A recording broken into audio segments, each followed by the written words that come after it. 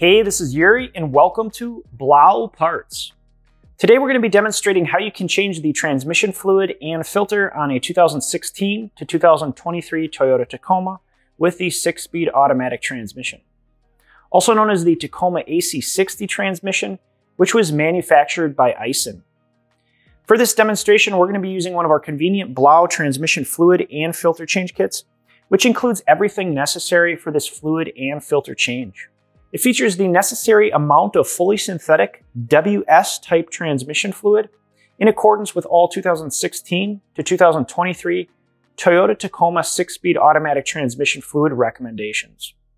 We also include the transmission filter with valve body sealing O-ring, the transmission pan gasket and spacers, along with the drain and level plug sealing washers. To learn more about the features and benefits of using our Blau transmission fluid and filter change kits, we'll leave a link in the description below. Also, if you're interested in learning more about the recommended transmission fluid specifications, change capacities, and change intervals for the Tacoma 6-speed automatic transmission, that's linked in the description below as well. So let's get started. Begin by confirming that the transmission fluid temperature is below 35 degrees Celsius or 95 degrees Fahrenheit. If the transmission fluid temperature is above 35 degrees Celsius, allow the transmission to cool before starting your fluid change. We also suggest that all Toyota Tacoma 6-speed automatic transmission fluid changes be performed when the ambient temperature is below 90 degrees Fahrenheit. To monitor the transmission fluid temperature, we're using a diagnostic scan tool to access the transmission control module and confirm that the transmission fluid temperature is below 35 degrees Celsius. If the transmission fluid temperature is above 35 degrees Celsius when starting the fluid change, or the ambient temperature is above 90 degrees Fahrenheit, you will likely run out of time later when performing the remaining transmission fluid filling and leveling procedure steps by exceeding the 45 degrees Celsius maximum fluid level temperature limit. All further temperature references in this how-to tutorial will refer to Celsius temperature readings. To properly perform the Tacoma transmission fluid change, the vehicle and transmission will need to be in a level position. Most Toyota Tacoma models have enough ground clearance allowing the transmission fluid and filter to be changed without lifting the vehicle. In our case, we're going to be gaining access to the bottom side of the vehicle using an SAE approved automotive lift. To confirm you're lifting the vehicle correctly, you can reference your factory owner's manual for the proper vehicle lift point locations and safety procedures. Begin by locating the transmission fluid fill plug. This is on the passenger side right of the transmission, just to the rear of the oxygen sensor harness. Using a 24mm socket and ratchet, loosen and remove the fill plug in a counterclockwise direction. Removing the fill plug before draining the transmission fluid confirms you have a way to refill it in case the fill plug is seized and can't be removed. Locate and remove the transmission pan drain plug this is towards the rear of the transmission pan. Using a 14mm hex head socket and ratchet, loosen and remove the drain plug and sealing washer in a counterclockwise direction. As you remove the drain plug, allow the old transmission fluid to drain into a waste oil drain pan.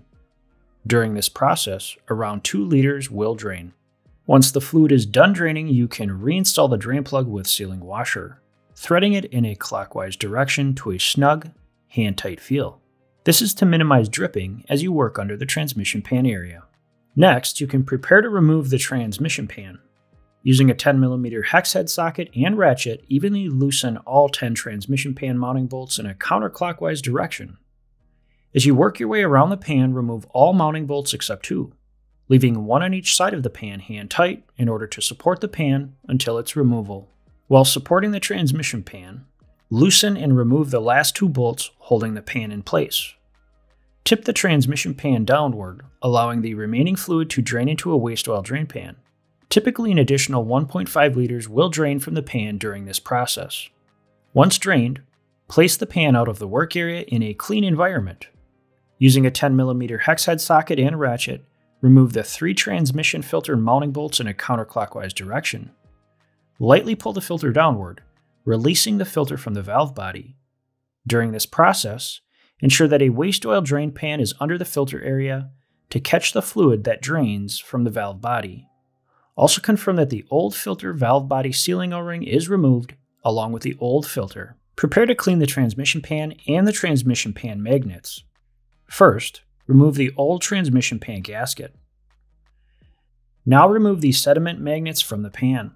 When removing the magnets, note their orientation and location before removal so you can remember to reinstall them in their original locations. Thoroughly clean the magnets and pan by removing the old fluid residue and sediment. During this process, be sure the gasket mating area of the pan is clean from any imperfections to ensure a reliable seal. Now that the magnets and transmission pan are clean, reinstall the magnets in their original location and orientation. Next, prepare the new transmission pan gasket by inserting the 10 gasket spacers into the gasket. Once this is completed, align and install the new gasket onto the pan with the round or curved shape of the gasket facing the pan and the flat side facing upward. Next, prepare the transmission pan gasket mounting surface area. Make sure the surface area is perfectly clean, free from oil residue, debris, and corrosion. This will ensure a good quality seal without leaks. Be careful not to scar or mar the gasket mating surface when using tools. Prepare the new transmission filter for installation. Confirm the new sealing O-ring is lubricated with fresh transmission fluid and installed on the filter. This will ensure it seals correctly to the valve body and minimizes possible O-ring damage during installation. Align and insert the transmission filter tube with the valve body port. Apply a small amount of upward pressure to slide and seat the filter tube up into the valve body. Once in place, align the filter mounting tabs and begin installing the three transmission filter mounting bolts, threading them in a clockwise direction. Using a 10mm hex head socket and torque wrench, tighten the three filter mounting bolts. In our case, we're tightening them to an 84 inch pound or 9 newton meter torque specification. With the filter installed, you can move on to reinstalling the transmission pan and gasket. Align the pan to the transmission and begin installing the 10 transmission pan mounting bolts, threading them in a clockwise direction. Evenly draw the pan up to the transmission using an alternate crisscross sequence while tightening the bolts to a snug hand-tight feel. During this process, ensure that the transmission pan gasket doesn't slide or shift out of alignment and is evenly compressed to ensure a quality seal during installation. Next, you can begin the final transmission pan tightening sequence. Using a 10mm hex head socket and torque wrench, begin tightening the transmission pan bolts in a clockwise direction using an alternate crisscross sequence. In our case, we're tightening them to a 65 inch pound or 7 newton meter torque specification. Before filling the transmission with fluid, remove the drain plug and install a new sealing washer. Reinstall the drain plug with sealing washer by threading it in a clockwise direction. Using a 14mm hex head socket and torque wrench, tighten the drain plug. In our case, we're tightening it to a 15 foot pound torque specification. With the vehicle and transmission in a level position, begin filling the transmission with 4 liters of automatic transmission fluid that meets the recommended Toyota Type WS fluid specification. In our case, we're using our fluid transfer hand pump tool, part number J91001. Once you are done adding fluid, you can reinstall the fill plug with sealing O-ring, threading it in a clockwise direction to a snug, hand-tight feel. With the vehicle still elevated, and in a level position, start the engine and let it idle. This allows the transmission to pump the new fluid you just added and distribute it within the transmission. Next, while the engine is still idling and with the brake pedal applied, shift the transmission through each gear selection for about 3 to 5 seconds, from park to reverse, neutral, drive, back to neutral, reverse, and back into park. The shifting sequence you have just performed helps remove any air in the transmission fluid system. To ensure all air was removed, we performed this shifting sequence two times. With the engine still idling and the vehicle elevated with the transmission in a level position, prepare for the final steps in checking and confirming that the transmission fluid level is correct. Begin by monitoring the transmission fluid temperature. In our case, we're using a diagnostic scan tool. Start by making sure the transmission fluid temperatures are in the correct range between 35 and 45 degrees Celsius. If the temperature is over 45 degrees Celsius, we would advise you to shut off the engine and let the transmission cool down to below 35 degrees Celsius before proceeding. The lower temperature will allow you enough time to perform the next fluid leveling steps. Remember, the transmission fluid temperature should never exceed 45 degrees Celsius at any time while you are performing the final transmission fluid leveling check. Exceeding 45 degrees Celsius will result in an incorrect transmission fluid level. With the engine idling, begin monitoring the transmission fluid temperature. When the fluid is in the 35 to 45 degrees Celsius temperature range, remove the level plug, loosening it in a counterclockwise direction using a 5mm hex bit socket and ratchet. Allow the excess fluid to drain into a waste oil drain pan. The transmission fluid level is correct when a steady stream of fluid flowing from the fluid level port transitions to a light trickling stream between 35 and 45 degrees Celsius. Once this is observed, the fluid level is correct, and you can reinstall the level plug with a new sealing crush washer, tightening it in a clockwise direction using a 5mm hex bit socket and torque wrench. In our case, we're tightening it to a 15 foot pound torque specification.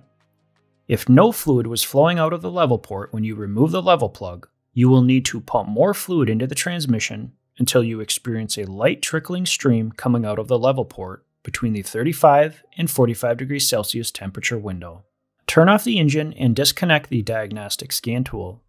Allow the transmission and exhaust system to cool down before tightening the fill plug. Failure to allow the exhaust system to cool can result in severe burns and injury, after the exhaust system has cooled, tighten the fill plug in a clockwise direction using a 24mm hex head socket and torque wrench. In our case, we're tightening it to a 29 foot-pound torque specification. Last, using a rag, clean any excess fluid from the transmission pan and drain and level plug areas to help confirm that you have no leaks.